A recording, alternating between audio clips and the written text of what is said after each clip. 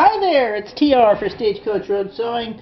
Today I've got for you a nice Sewmor made in Japan basic class 15 machine with some really nice uh, decal patterns along here. It's in really good shape. A few dings out of the paint on the bed. You know, it's an older machine. This one's probably from the late 50s. These type of machines were very popular. If you're looking for a good sturdy basic forward and back heavy old sewing machine, this might just be the one for you. Here's the foot controller here. I've Already got the light turned on. There's a light light switch there. Going to wind a little bit of bobbin thread right now, show you how that goes.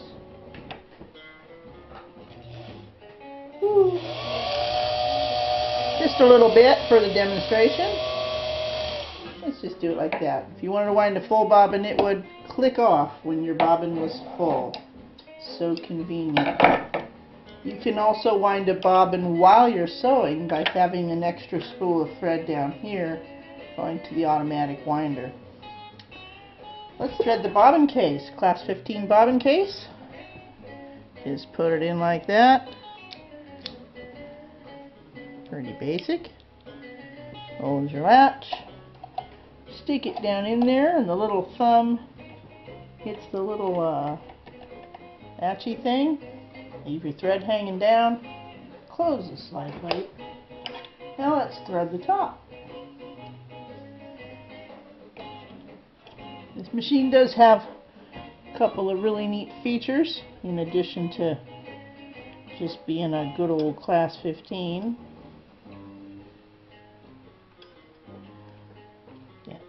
There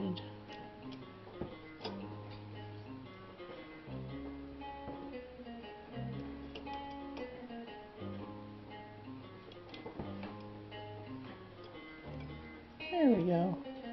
We do it again. Goes around the discs, over the bar, and under that spring, just like so. Take up lever all the way to the top.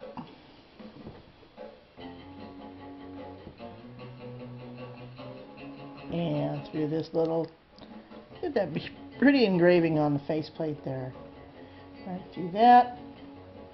And the needle threads from left to right on this machine.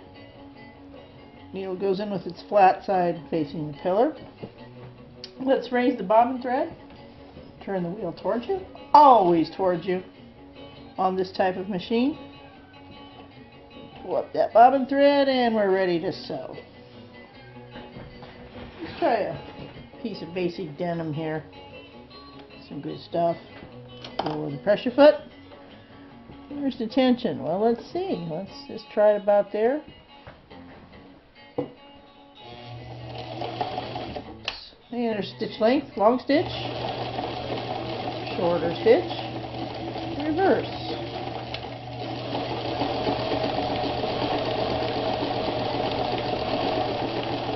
And there we go. Nice stitch there. Big old hand wheel on that one. Hmm, Stitching. Decent looking there.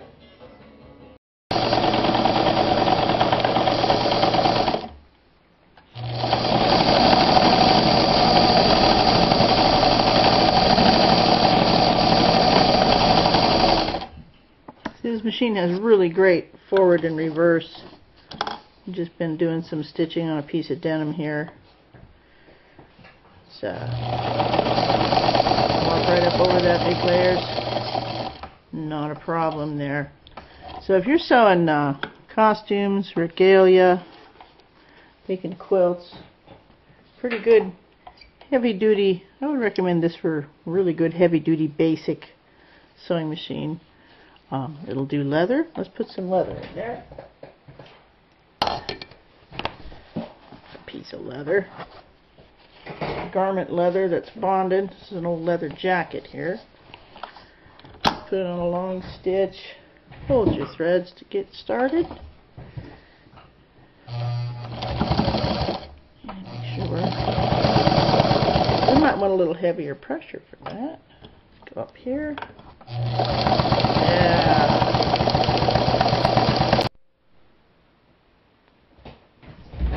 Check this out. Say you want to do free motion embroidery. You can release the pressure, drop the feed, and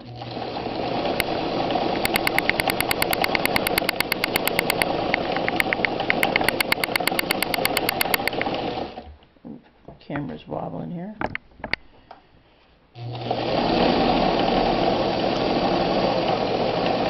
You're, you're controlling the movement of the machine here. Is really great for outline quilting or mending or that kind of thing. And it's so easy to get in and out. Oh, that's a little thread tail there from the beginning, but you could see what I'm saying? You can just follow that around. So let's raise the feed back up again. Put the pressure back down. Yeah, let's just fold that guy over for fun. Stick it in there.